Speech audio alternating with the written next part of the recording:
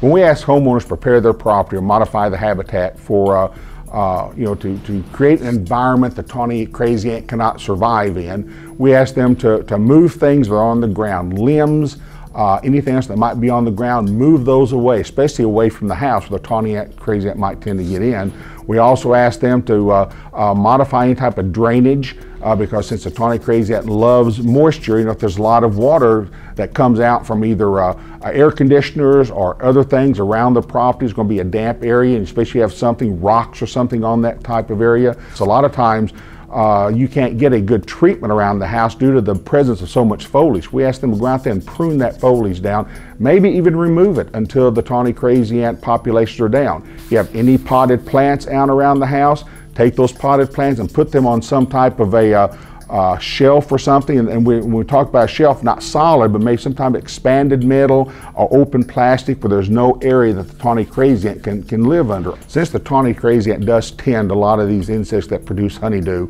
we recommend, yes, to check to see if you have levels of those insects. Uh, prune your plants to cut down the foliage these insects are going to be on. Uh, if uh, you, you can treat, use some type of systemic insecticide to, to control those insects, you have a less uh, food source for the tawnies. Once you start doing all that, remove all those, you start creating an environment they just can't survive in, and uh, you'll reduce the numbers where when you do have to use a chemical treatment, you have less ants to deal with. Therefore, your perceived control of the chemicals better, and you're much more satisfied.